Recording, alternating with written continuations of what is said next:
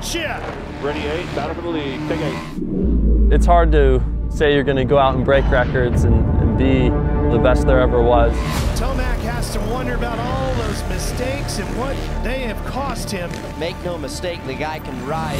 Here we go. Start on 16. Ready, seven. A three-way back. It's good to set those goals high. I'm really am chasing the 450 Supercross Championship. That's one goal that I have on my list that I haven't checked off yet.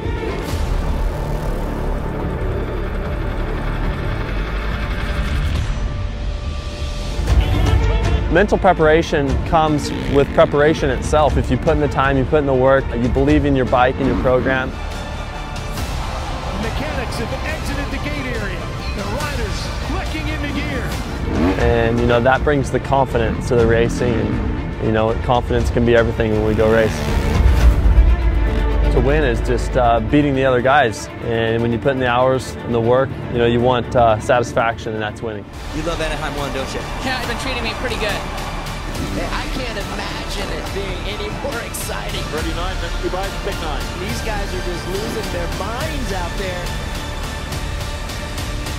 Cannot make mistakes at this level.